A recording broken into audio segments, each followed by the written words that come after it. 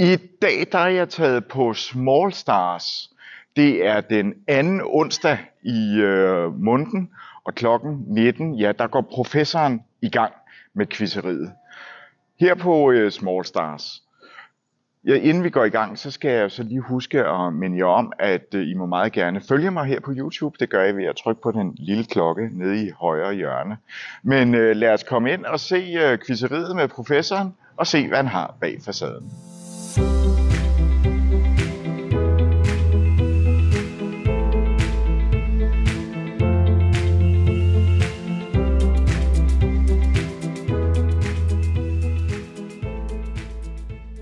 Quizzeriet med professoren, hvad er det for noget? Ja, det er jo en quiz i almen viden, hvor man bare dukker op, jeg stiller en masse spørgsmål, og så svarer man. Det er ikke svært.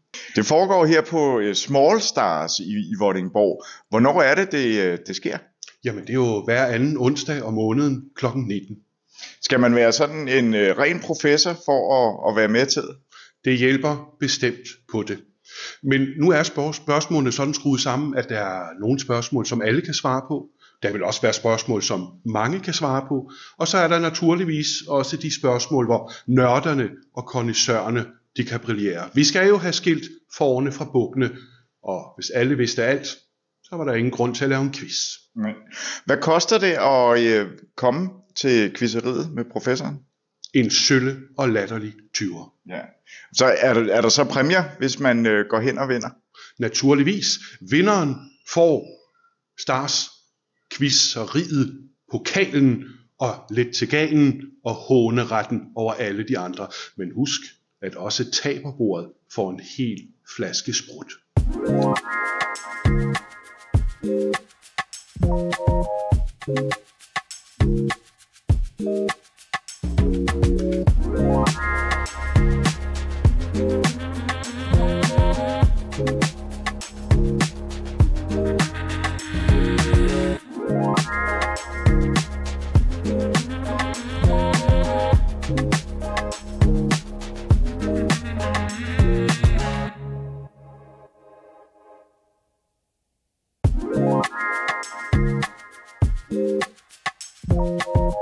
Runder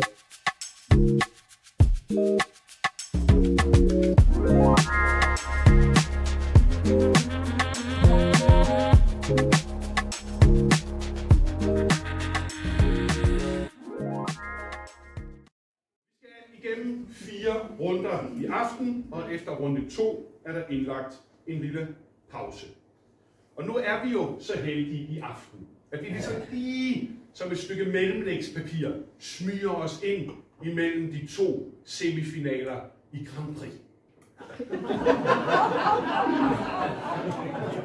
Men nej, der kommer ikke spørgsmål om Melodi Grand Prix i aften. Det lægger jeg trygt i hænderne på min yderst kompetente kollega i musikquizzen. Men for hvert runde, for hver runde, der udleveres et svarark, og efter runden, så bytter I så med et tilfældigt øh, nabobord. I skal sådan set bare blive ved med at bytte. Det vigtige er, at I ikke sidder med jeres eget. Og så afslører jeg svarene for deltagerne, og vi retter dem. Nummerpigen, hun vil samle sammen, og så opgør jeg pointene, og undervejs, der får vi en forløbig stilling, og til sidst, der afgør vi så, hvem der har vundet. Så flot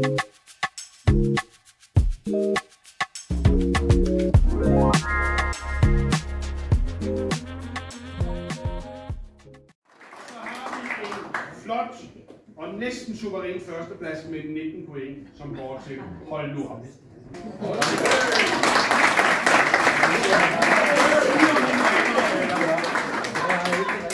Hold nu op, hvor var det flot. Og derfor så skal I selvfølgelig have vores vandrepokal og gemme den hjemme på, på, øh, på kaminhylden. Og så kan I se på den hver ene eneste dag og blive rørt over, hvor godt I klarer den. Og så er der selvfølgelig chance for at få den, hvad kan man sige, genvinde næste gang. Men der er gået lidt til gangen, der er en pokal, der er håneretten over alle de andre. Det skal vi have Men, mine damer og herrer, det er jo sådan, at her på viseriet med professoren på Stars, vi glemmer jo ingen. Og som altid så holder professoren godt øje og fremhæver et hold, og der er altid en flaske sprut på højkant. Og der er jo et hold, som udmærker sig ved at have været. Det har gjort det så godt de kunne. Det var bare ikke godt nok. Men alligevel, tillykke med nummer lort. Og der er en hel flaske sprut til holdet. Vær så god. Kunne du lide videoen, så husk at give den et like, og du må også meget gerne følge mig her på YouTube. Det gør du ved at trykke på den lille klokke nede i højre hjørne. Har du noget, du vil vise mig bag din facade, om det er et galleri, eller om det er en gymnastikforening, eller en øh, tøjforretning, eller et quizzeri ligesom her, ja, så tøv ikke og øh, kontakt mig enten her på YouTube eller på Facebook på forhånd. Tak.